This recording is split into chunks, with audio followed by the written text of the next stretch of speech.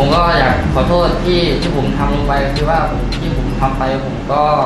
ไม่ได้แบบว่ายังไงไม่ได้ตั้งใจคือว่าลงมันชั่ววูบครับ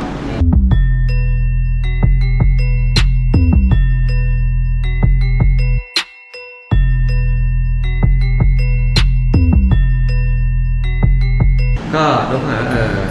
ข่มขู่นะครับข่มขู่แล้วก็พาวุธมีดนะครับที่สาธารณะแล้วก็